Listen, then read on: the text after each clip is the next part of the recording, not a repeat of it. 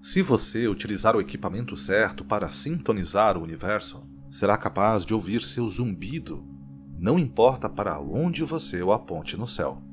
É claro que não é possível que o som viaje no vácuo do espaço. Em vez disso, estamos falando do zumbido das ondas gravitacionais. Você já deve estar familiarizado com um sinal semelhante descoberto há décadas. Chama-se radiação cósmica de fundo e microondas e trata-se do brilho residual do Big Bang. Deveras uma descoberta revolucionária. Foi a prova definitiva que solidificou o lugar do Big Bang como a principal teoria do início do nosso universo. No entanto, este sinal de luz tinha uma fraqueza gritante. Apesar de ser a luz mais antiga do nosso universo, foi emitida quase 400 mil anos após o Big Bang. Se quisermos voltar antes, precisaremos de um sinal de fundo feito não de luz, mas de ondulações na estrutura do espaço-tempo. Em 2023, os astrônomos da colaboração Nanograve anunciaram que, usando um truque inteligente, podem ter detectado exatamente isso.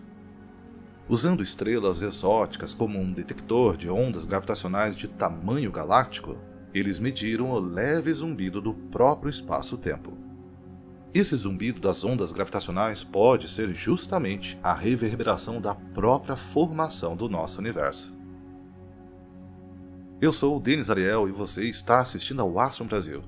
Junte-se a mim hoje enquanto aprendemos sobre os segredos das ondas gravitacionais gigantescas e o novo e engenhoso método que os astrônomos usaram para detectá-las. Em um episódio anterior, abordamos o detector LIGO e como ele usa lasers para medir com precisão as minúsculas mudanças no comprimento de um túnel causadas pela passagem de ondas gravitacionais. Essas ondas gravitacionais esticam e comprimem o espaço-tempo, causando mudanças no tempo que a luz leva para viajar de uma extremidade à outra do túnel. Mas detectores como o LIGO são sensíveis apenas a um tipo específico de ondas gravitacionais, Assim como as ondas de luz e as ondas sonoras, as ondas gravitacionais podem ocorrer em frequências diferentes, e o LIGO só é capaz de ouvir uma parte desse espectro, as altas frequências. É quando binários se aproximam rapidamente, completando centenas de rotações por segundo antes de colidirem em um grande estrondo. Mas é também por isso que o LIGO não consegue escutar os estágios muito anteriores desses binários quando os objetos orbitavam uns aos outros a uma distância muito maior. Como essas órbitas são muito mais lentas, as ondas gravitacionais que produzem são de frequência e energia mais baixas. Então você poderia dizer que, em vez de um grande estrondo, cada um deles emite um leve zumbido, combinando-se em um sinal coletivo. Buracos negros maiores dão contribuições maiores para esse sinal. Os contribuintes mais barulhentos consistiriam em pares de buracos negros supermassivos, o tipo que você encontraria no centro das galáxias. Espera-se que esses binários, que consistem em buracos negros com bilhões de vezes a massa do nosso Sol, sejam raros porque só deveriam se formar quando algo verdadeiramente espetacular acontece a fusão de duas galáxias. Quando galáxias se fundem, devido à vasta quantidade de espaço interestelar vazio nelas, geralmente passam umas pelas outras. Poucas colisões reais de estrelas ou planetas, se é que alguma, de fato acontecem. Mas as estrelas se atraem gravitacionalmente e se fundem em uma galáxia coletiva. E os núcleos dessas galáxias, os buracos negros supermassivos, formam binários que continuam orbitando uns aos outros muito depois de a fusão galáctica parecer estar completa. São esses remanescentes de fusões de galáxias que ouviríamos com mais força na faixa de frequência ultra baixa, especificamente em torno da faixa de nanohertz. No entanto, assim como o ouvido humano não consegue ouvir sons com frequências ultra baixas, o LIGO é surdo a essa cacofonia cósmica. Se pudéssemos ouvir isso, poderíamos obter novos insights sobre fusões de galáxias e buracos negros. Mas isso não é tudo. Um dos aspectos mais interessantes sobre a onda gravitacional de fundo é que ela é uma janela para os primeiros momentos da existência do nosso universo. Vamos recapitular rapidamente o que sabemos sobre a radiação cósmica de fundo em microondas. Esta luz de microondas é a mais antiga que podemos detectar, porque durante os primeiros 400 mil anos, o universo era opaco à luz. O que significa o universo ser opaco? Inicialmente, o universo era quente demais para permitir a existência de matéria neutra. Elétrons e prótons não conseguiam se unir e formar átomos neutros, simplesmente porque tinham muita energia. Esse estado da matéria é chamado de plasma, o mesmo material de que as estrelas são feitas, e o universo estava repleto dele.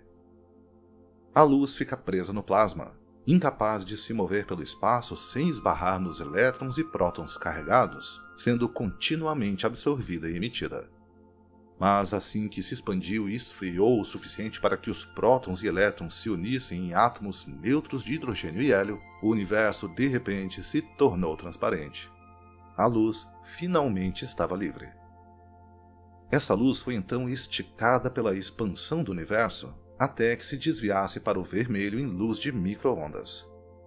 É por isso que a radiação cósmica de fundo em microondas é a luz mais antiga do universo. Mas as ondas gravitacionais não são feitas de luz, são feitas do próprio espaço-tempo. Plasma não é obstáculo para elas.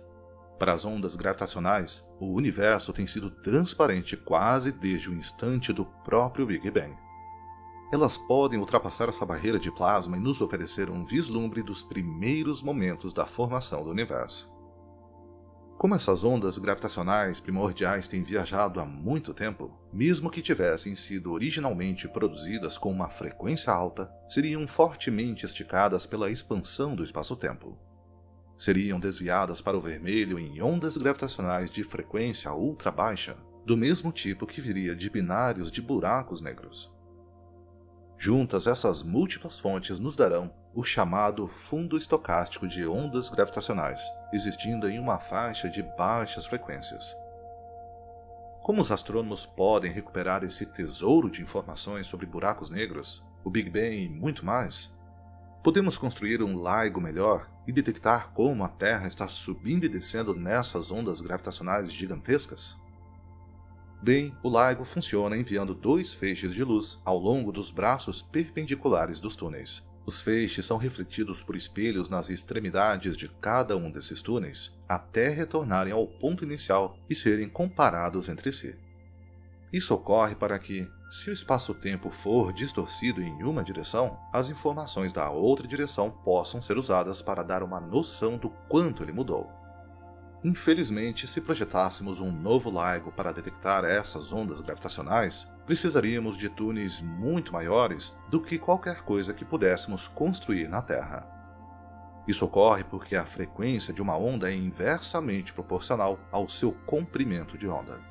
Ondas de frequência ultra baixa terão comprimento de onda muito longas e exigiriam que observássemos as mudanças a uma distância muito maior para notar os efeitos dessas ondas gravitacionais. Para ondas nanohertz, isto é, uma flutuação completa levando 1 bilhão de segundos, nos diz que o comprimento da onda seria de cerca de 10 elevado à potência de 17 metros. Para uma noção de escala, a distância entre a Terra e o Sol, ou uma unidade astronômica, é de 10 elevado à potência de 11 metros. Um ano-luz equivale a cerca de 10 elevado à potência de 16 metros. Os comprimentos de onda que estamos discutindo têm dezenas de anos-luz. Claramente, não podemos construir nada adequado para essa tarefa na Terra ou mesmo no sistema solar. Precisamos ir além da nossa vizinhança estelar. Mas, em vez de esperar que a humanidade ascenda além dos limites do nosso sistema solar e se torne uma civilização espacial, os astrônomos do nanograve usaram um truque inteligente.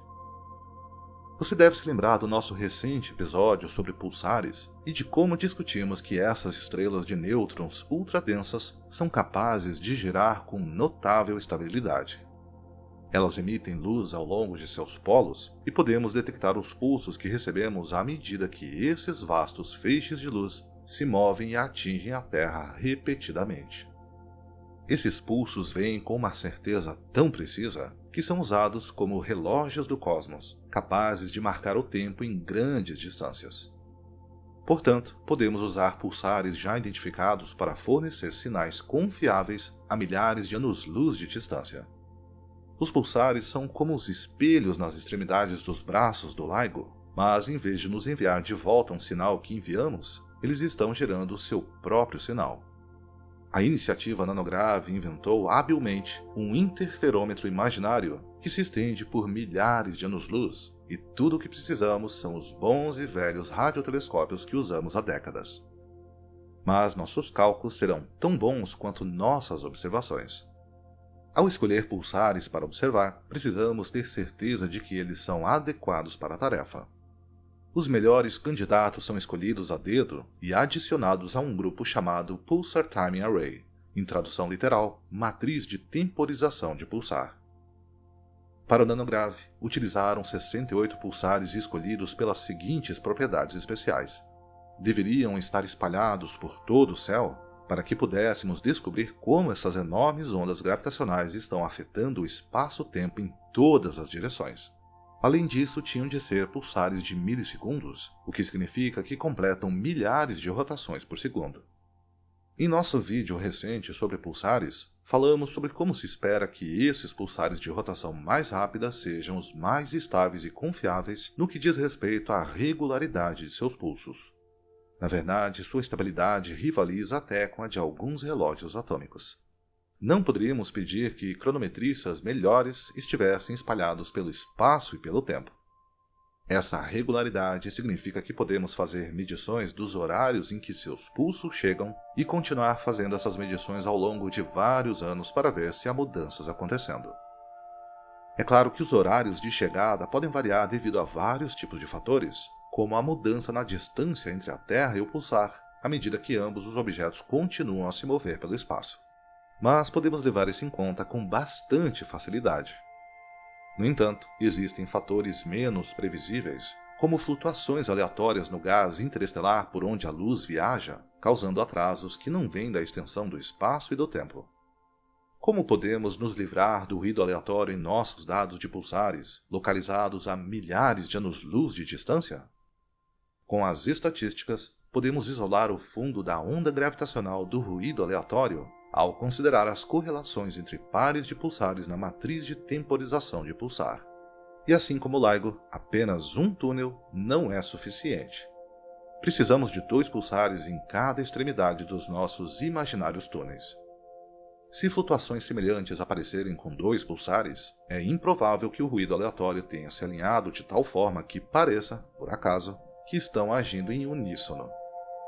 É muito mais provável que exista uma causa comum subjacente a ambas as flutuações, como a possibilidade de os fótons dos dois pulsares estarem navegando nas mesmas ondas gravitacionais que passam por ambos. Podemos então relacionar essas correlações de pares de pulsares com a sua distância angular no céu. Se não houver onda gravitacional de fundo, esperamos que não haja correlação e que o gráfico mostre uma linha reta em zero. Caso contrário, se os dados seguirem uma curva especial chamada curva de Hellings e Downs, isso indicaria que uma onda gravitacional de fundo é responsável pelas variações. E foi justamente isso que a nanograve conseguiu. Em 28 de junho de 2023, com base em mais de 15 anos de observações contínuas de 68 pulsares, anunciaram fortes evidências de ondas gravitacionais de fundo. Este é o gráfico que estávamos esperando. Esta é uma marca registrada das ondas gravitacionais que se estendem ao longo de uma direção e se esmagam na direção perpendicular. Isso é exatamente o que vemos neste gráfico. Quando os pulsares são separados em ângulos retos, seus fótons experimentam o um efeito oposto enquanto viajam para a Terra. As barras de erro nos dados parecem bastante grandes, mas os pesquisadores calcularam que os dados mostram que a existência de um fundo de onda gravitacional é estatisticamente significativa no nível 3 sigma. Isso significa que há uma chance em mil de que este seja um alarme falso e que esses dados são resultado de mero acaso. Na física, o nível 5 sigma é considerado o padrão perfeito para uma descoberta, mas 3 sigma pode ser considerado como uma forte evidência. À medida que coletam e analisam mais dados, astrônomos poderão reduzir essas barras de erro e finalmente anunciar uma descoberta oficial. Então, que segredos esse fundo de onda gravitacional pode nos revelar? Embora ainda não possamos identificar as fontes do ruído coletivo, esperamos que essas técnicas eventualmente nos permitam ouvir binários específicos de buracos negros supermassivos e, quem sabe, obtermos detalhes sobre a formação do universo. Até lá, astrônomos continuarão a usar seu detector de tamanho galáctico para calcular como estamos subindo e descendo no turbulento mar do espaço-tempo. Você já ouviu falar do nanograve antes? Que segredos você acha que as ondas gravitacionais poderiam revelar? Deixe-me saber nos comentários abaixo. Muitos de vocês comentam que colocam os vídeos do Astro Brasil para relaxar ou mesmo pegar no sono. Então, especialmente para vocês, criamos o podcast Astro Brasil, distribuído em todas essas plataformas. Um conteúdo criado especialmente para você aprender sobre o nosso universo enquanto relaxa, com uma trilha sonora mais suave e uma locução mais pausada, perfeita para dormir. Clique nos links na descrição desse vídeo para conferir. Você curte fotos do céu ou fotografias em geral? E que tal você escolher a foto que eu farei e ainda ganhar um print assinado e exclusivo? Confira os posts na aba Comunidade aqui no YouTube e dê a sua sugestão de objeto para eu fotografar. A escolha com a maior quantidade de likes ganha o print exclusivo. Você gosta dos temas que abordamos aqui no Astro Brasil e deseja ajudar o projeto? Ou então quer ter acesso antecipado a todos os vídeos do canal sem interrupções ou propagandas? Então conheça o clube de canais aqui no YouTube. Além de ajudar financeiramente o Astro Brasil, você também terá acesso a conteúdo exclusivo, como acesso antecipado aos vídeos semanais e lives exclusivas para membros e apoiadores. Um especial agradecimento aos nossos queridos membros e apoiadores que todo mês ajudam o canal a se manter. Muito obrigado e até o próximo vídeo.